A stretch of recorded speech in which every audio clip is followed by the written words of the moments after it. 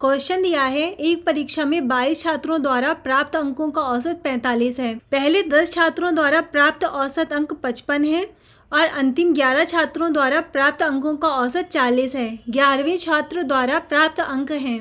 22 छात्रों द्वारा प्राप्त अंकों का औसत दिया है 45 तो इनका योग निकाल लेंगे। 45 में गुणा कर देंगे 22 का तो इनका योग हो जाएगा 990 पहले 10 छात्रों द्वारा प्राप्त औसत अंक 55 है तो इनके अंकों का योग निकाल लेंगे। पचपन में गुणा कर देंगे दस का तो इनके अंकों का योग हो जाएगा पाँच सौ पचास। और अंतिम ग्यारह छात्रों द्वारा प्राप्त अंकों का औसत चालीस है। अंतिम ग्यारह छात्रों द्वारा प्राप्त अंकों का औसत चालीस है। इनके अंकों का योग निकाल लेंगे। चालीस में गुणा कर देंगे ग्यारह का तो इनके अंकों का योग हो जाएगा चार सौ चालीस। कुल बाईस छात्र हैं और यहाँ पर दस और ग्यारह इक्कीस छात्र हुए तो ग्यारहवें छात्र द्वारा प्राप्त अंकों का योग निकाल लेंगे। बाईस छात्रों के अंकों का योग है नौ सौ नब्बे, माइनस दस छात्रों के अंकों का योग है पाँच सौ पचास, प्लस ग्यारह छात्रों के अंकों का योग है चार सौ चालीस। ये हो जाएगा नौ सौ नब्बे, माइनस यहाँ हो जाएगा नौ सौ नब्बे। तो ग्यारहवें छात्र द्वारा प्राप्त अंक हो जाएगा ज़ीरो। ऑप्शन ए इसका राइट आंसर होगा। नेक्स्ट क्वेश्चन देखेंगे। क्वेश्चन दिया है, बारह संख्याओं का औसत बयालीस है। जिनमें अंतिम पाँच संख्याओं का औसत चालीस और पहली चार संख्याओं का औसत चौवालीस है। छठी संख्या पाँचवीं संख्या से छः कम है और सातवीं संख्या से पाँच कम है। पाँचवीं और सातवीं संख्याओं का औसत क्या होगा? बारह संख्याएँ हैं, बारह संख्याओं का औसत दिया है बयालीस। तो इनका योग निकाल लेंगे बयालीस में गुणा कर देंगे बारह का। तो बारह संख्याओं का योग हो जाएगा पाँच सौ चार। अंतिम पाँच संख्याओं का औसत चालीस है अंतिम पाँच संख्याओं का औसत दिया है चालीस। तो अंतिम पाँच संख्याओं का योग निकाल लेंगे। इनका योग हो जाएगा दो सौ। और पहली चार संख्याओं का औसत दिया है चौवालीस।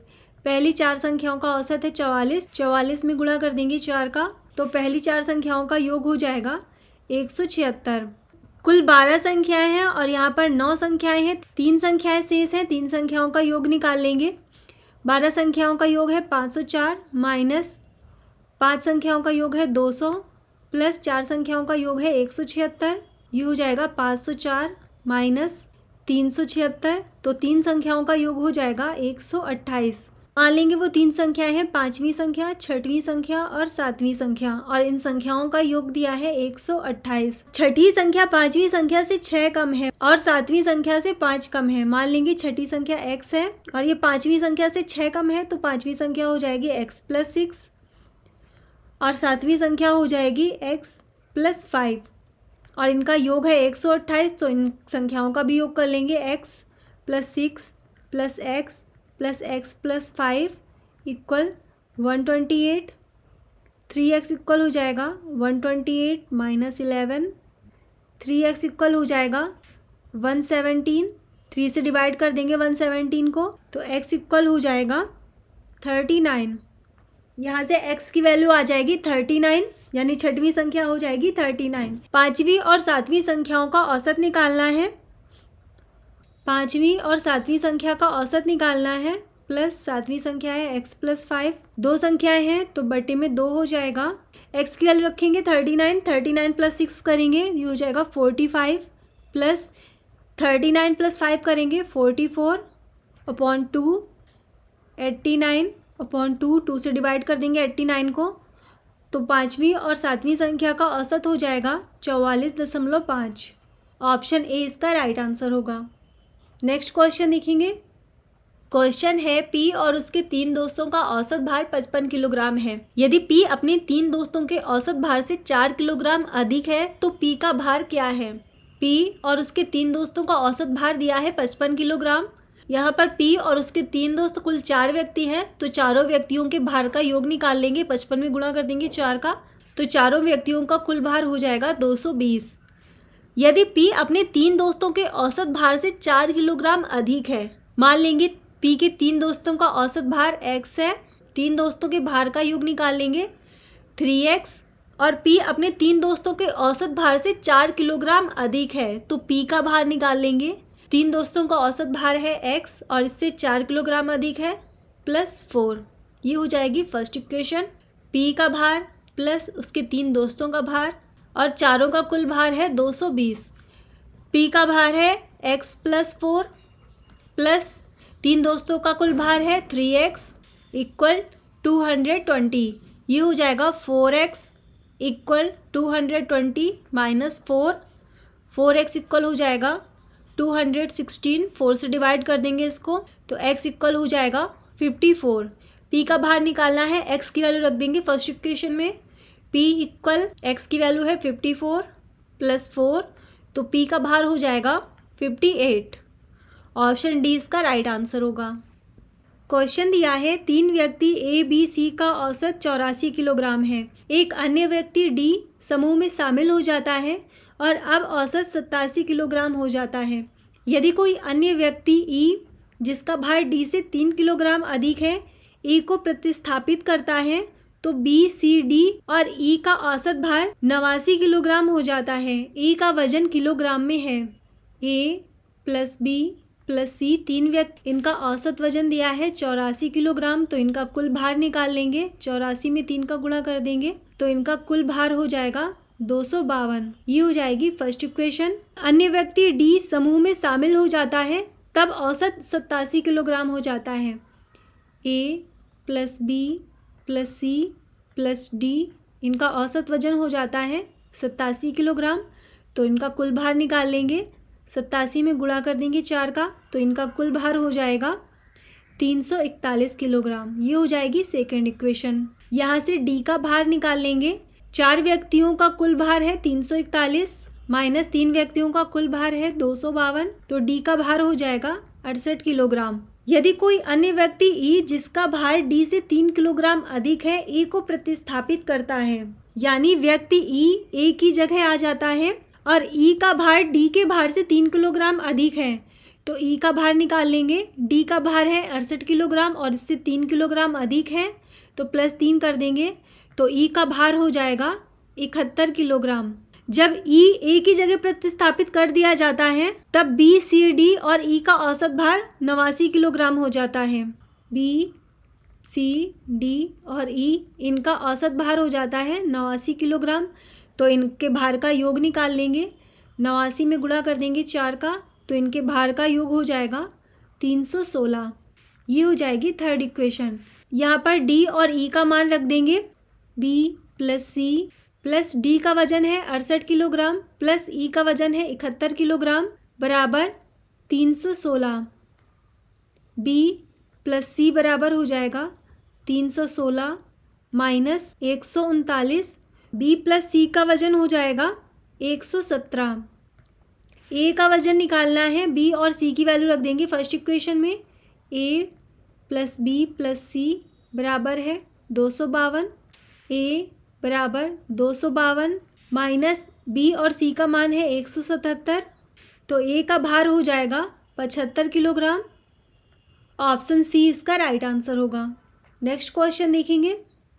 क्वेश्चन है, एक पुस्तकालयाध्यक्ष ने अपने पुस्तकालय के लिए पचास कहानी की पुस्तकें खरीदी, लेकिन उसने देखा कि वह छिहत्तर रुपए अधिक खर्च करके चौदह और किताबें प्राप्त कर सकता है और प्रति पुस्तक औसत मूल्य एक रुपए कम हो जाता है। उसके द्वारा खरीदी गई प्रत्येक पुस्तक का औसत मूल्य था। मान लेंगे प्रत्येक पुस्तक का औसत मूल्य एक्स है और वो पचास कहानी की पुस्तकें खरीदता है।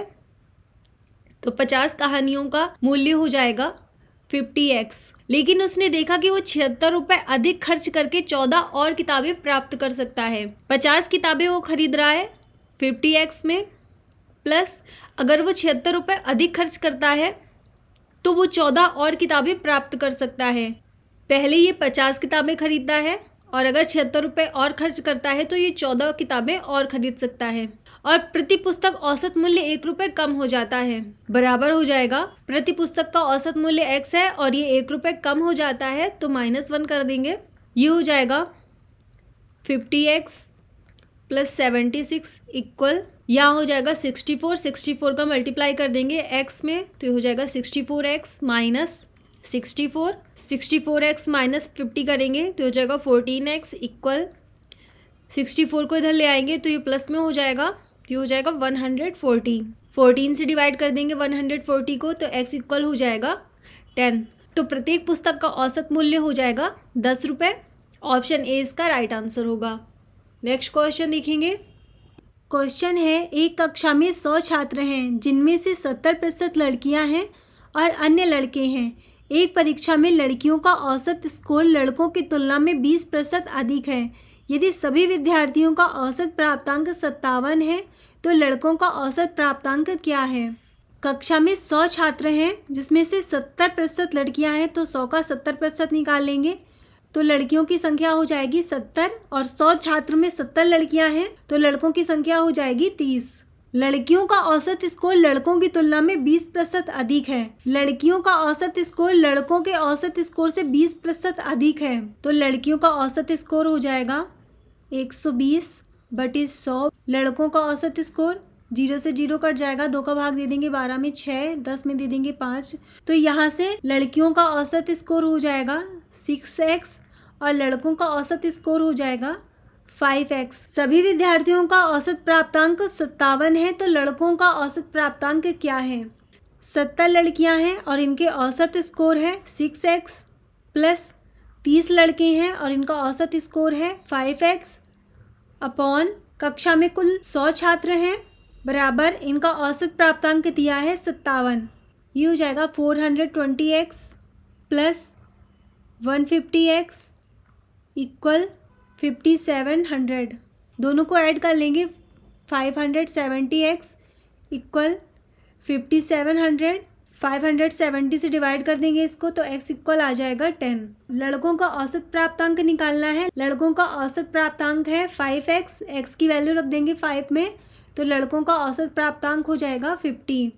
ऑप्शन डी इसका राइट आंसर होगा। नेक्स्ट क्वेश्चन देखेंगे। क्वेश्चन दिया है, एक परिवार का औसत मासिक खर्च पहले तीन महीनों के दौरान दस हज़ार, अगले चार महीनों के दौरान बारह हज़ार पाँच सौ और एक वर्ष के अंतिम पाँच महीनों के दौरान तेरह हज़ार पाँच सौ था। यदि वर्ष के दौरान कुल बचत बत्तीस हज़ार पाँच सौ रुपये थी तो परिवार की औसत मासिक आय थी। पहले तीन महीनों का खर्च दिया है, दस हज़ार रुपये दस हज़ार में गुणा कर देंगे तीन का, इनका योग हो जाएगा तीस हज़ार। अगले चार महीनों के दौरान इनके खर्च का औसत है बारह हज़ार पाँच सौ तो इनका योग निकाल लेंगे, चार का गुणा कर देंगे बारह हज़ार पाँच सौ में तो इनका योग हो जाएगा पचास हज़ार रुपये। अंतिम पाँच महीनों के दौरान खर्च है इनका तेरह हज़ार पाँच सौ तो इनका योग निकाल लेंगे, पाँच का गुणा कर देंगे तेरह हज़ार पाँच सौ में तो इनका योग हो जाएगा सड़सठ हज़ार पाँच सौ। मासिक आय का योग निकाल लेंगे पहले तीन महीने तीस हज़ार रुपये खर्च होते हैं, फिर अगले चार महीने पचास हज़ार रुपये खर्च होते हैं, प्लस अगले पाँच महीने सड़सठ हज़ार पाँच सौ रुपये खर्च होते हैं, प्लस और इनकी बचत हो रही है बत्तीस हज़ार पाँच सौ रुपये की। तो एक वर्ष की इनकी आय का योग हो जाएगा एक लाख अस्सी हज़ार रुपये और औसत मासिक आय निकालनी है, एक वर्ष की कुल आय है एक लाख अस्सी हज़ार रुपये और एक वर्ष में बारह माह होते हैं तो बटे बारह कर देंगे। बारह का भाग दे देंगे एक लाख अस्सी हज़ार में तो मासिक आय का औसत हो जाएगा पंद्रह हज़ार रुपये ऑप्शन ए इसका राइट आंसर होगा। नेक्स्ट क्वेश्चन देखेंगे। क्वेश्चन दिया है, ए, बी, सी और डी चार सकारात्मक संख्याएँ हैं, जैसे कि ए, बी का तीन बटे चार गुना है, बी, सी का चार बटे पाँच गुना और सी डी का तीन बटे आठ गुना है। यदि ए के चार गुना और डी के सात गुना का औसत तीन सौ सोलह है तो सभी चार संख्याओं ए, बी, सी और डी का औसत है। ए, बी का तीन बटे चार गुना है, ए बराबर हो जाएगा तीन बटे चार बी तो यहाँ से ए अनुपात बी निकाल लेंगे, तीन अनुपात चार। बी, सी का चार बटे पाँच गुना है, बी बराबर है चार बटे पाँच सी तो यहाँ से बी अनुपात सी निकाल लेंगे, चार अनुपात पाँच। सी डी का तीन बटे आठ गुना है सी बराबर हो जाएगा तीन बटे आठ डी तो सी और डी का अनुपात निकाल लेंगे, तीन अनुपात आठ। चारों का अनुपात निकाल लेंगे ए अनुपात बी अनुपात सी अनुपात डी ए और बी का अनुपात दिया है तीन, अनुपात चार। बी और सी का अनुपात है चार, अनुपात पाँच। बी का अनुपात है चार सी का अनुपात हो जाएगा पाँच। सी और डी का अनुपात दिया है, तीन अनुपात आठ, तीन अनुपात आठ। जो स्थान खाली होता है, उसके बराबर में जो संख्या दी होती है, उसको लिख देते हैं। यहाँ पर डी का स्थान खाली है, बराबर में संख्या दी है पाँच तो यहाँ पर लिख देंगे पाँच। यहाँ पर बी का स्थान खाली है, बराबर में संख्या दी है तीन तो बी के स्थान पर लिख देंगे तीन। ए का स्थान खाली है, बराबर में संख्या है तीन तो यहाँ पर भी लिख देंगे तीन। दोनों अनुपातों का गुणा कर लेंगे तो ए का अनुपात हो जाएगा नौ बी का अनुपात हो जाएगा बारह, सी का अनुपात हो जाएगा पंद्रह और डी का अनुपात हो जाएगा चालीस। तो संख्याएँ हो जाएँगी nine x, twelve x, fifteen x और फोर्टी एक्स। यदि ए के चार गुना और डी के सात गुना का औसत तीन सौ सोलह है, ए का मान है नाइन एक्स और इसका चार गुना है, गुणा चार कर देंगे, प्लस डी का मान है फोर्टी एक्स और इसका सात गुना, गुणा सात कर देंगे इनका औसत दिया है तीन सौ सोलह, बटे दो कर देंगे क्योंकि दो संख्याएँ हैं, बराबर हो जाएगा तीन सौ सोलह। सॉल्व कर लेंगे इसे। ये हो जाएगा thirty six x plus two hundred eighty x equal six hundred thirty two. ये हो जाएगा three hundred sixteen x equal six hundred thirty two. Three hundred sixteen से डिवाइड कर देंगे इसको तो एक्स इक्वल हो जाएगा टू। तो ए, बी, सी और डी का औसत है। चारों का औसत निकालना है। एक्स की वैल्यू रख देंगे इनमें। ए की वैल्यू हो जाएगी एटीन प्लस बी की वैल्यू हो जाएगी ट्वेंटी फोर प्लस सी की वैल्यू हो जाएगी थर्टी प्लस डी की वैल्यू हो जाएगी एट्टी अपॉन फोर ये हो जाएगा one hundred fifty two upon four four से डिवाइड कर देंगे इसको। तो चारों संख्याओं का औसत हो जाएगा थर्टी फोर ऑप्शन बी इसका राइट आंसर होगा। क्वेश्चन है, ग्यारह संख्याओं का औसत छप्पन है। पहली तीन संख्याओं का औसत बावन है और अगली पाँच संख्याओं का औसत साठ है। नौवीं और दसवीं संख्या ग्यारहवीं संख्या से क्रमशः तीन और एक अधिक है। नवीं और ग्यारहवीं संख्या का औसत क्या है? ग्यारह संख्याओं का औसत दिया है छप्पन। तो ग्यारह संख्याओं का योग निकाल लेंगे, ग्यारह का गुणा कर देंगे छप्पन में तो ग्यारह संख्याओं का योग हो जाएगा छः सौ सोलह। पहली तीन संख्याओं का औसत दिया है बावन तीन संख्याओं का औसत है बावन तो तीन संख्याओं का योग निकाल लेंगे तीन का गुणा कर देंगे बावन में तो तीन संख्याओं का योग हो जाएगा एक सौ छप्पन। और अगली पाँच संख्याओं का औसत दिया है साठ, पाँच संख्याओं का औसत है साठ, पाँच संख्याओं का योग हो जाएगा तीन सौ। कुल ग्यारह संख्याएँ हैं और यहाँ पर पाँच और तीन आठ संख्याएँ हैं, तीन संख्याएँ शेष हैं तो शेष तीन संख्याओं का योग निकाल लेंगे। ग्यारह संख्याओं का योग है छः सौ सोलह माइनस तीन संख्याओं का योग है एक सौ छप्पन प्लस पाँच संख्याओं का योग है तीन सौ। तो ये हो जाएगा छः सौ सोलह माइनस चार सौ छप्पन तो तीन संख्याओं का योग आ जाएगा एक सौ साठ। नौवीं और दसवीं संख्या ग्यारहवीं संख्या से क्रमशः तीन और एक अधिक है। मान लेंगे ग्यारहवीं संख्या एक्स है। नौवीं और दसवीं संख्या ग्यारहवीं संख्या से क्रमशः तीन और एक अधिक है तो नौवीं संख्या हो जाएगी एक्स प्लस थ्री और दसवीं संख्या हो जाएगी एक्स प्लस वन तीन संख्याओं का योग दिया है एक सौ साठ तो तीनों का योग कर लेंगे x plus three plus x plus one plus x और इनका योग है एक सौ साठ। ये हो जाएगा three x equal one sixty minus four three x equal हो जाएगा वन फिफ्टी सिक्स थ्री से डिवाइड कर देंगे इसको तो x इक्वल आ जाएगा फिफ्टी टू तो ग्यारहवीं संख्या हो जाएगी बावन. नौवीं और ग्यारहवीं संख्या का औसत निकालना है. नौवीं संख्या का मान है x प्लस थ्री एक्स का मान रखेंगे इसमें तो नौवीं संख्या हो जाएगी पचपन प्लस ग्यारहवीं संख्या है x और x का मान है बावन. बटे इनका औसत निकालना है तो दो से भाग दे देंगे. ये हो जाएगा एक सौ सात बटे दो. दो का भाग दे देंगे एक सौ सात में. तो नौवीं और ग्यारहवीं संख्या का औसत हो जाएगा तिरपन दशमलव पाँच। ऑप्शन ए इसका राइट आंसर होगा। नेक्स्ट क्वेश्चन देखेंगे। क्वेश्चन है, एक व्यक्ति जनवरी में 150 ग्राम के औसत भार के तीन पैकेज और फरवरी में 250 ग्राम की औसत भार के पाँच पैकेज प्राप्त करता है। व्यक्ति द्वारा दो महीनों में प्राप्त किए गए सभी पैकेजों का ग्राम में औसत भार कितना होगा? व्यक्ति जनवरी में 150 ग्राम औसत भार के तीन पैकेज प्राप्त करता है। तीन पैकेजों का औसत भार दिया है 150 ग्राम। तो इनका योग कर लेंगे। तीन पैकेजों के भार का योग हो जाएगा 450 ग्राम। और फरवरी में 250 ग्राम औसत भार के पाँच पैकेज प्राप्त करता है। पाँच पैकेज प्राप्त कर रहा है और इनका औसत भार है 250 ग्राम। पाँच पैकेजों का कुल भार निकाल लेंगे, पाँच का गुणा कर देंगे 250 में तो पाँच पैकेजों का कुल भार हो जाएगा 1250 व्यक्ति द्वारा दो महीनों में प्राप्त किए गए सभी पैकेजों का ग्राम में औसत भार कितना होगा? तीन पैकेजों का कुल भार है 450 प्लस पाँच पैकेजों का कुल भार है, बारह सौ पचास बटे तीन और पाँच आठ पैकेज हैं तो आठ से भाग दे देंगे इसमें, ये हो जाएगा सत्रह सौ बटे आठ आठ का भाग दे देंगे सत्रह सौ में तो सभी पैकेजों का औसत भार हो जाएगा दो सौ बारह दशमलव पाँच ग्राम।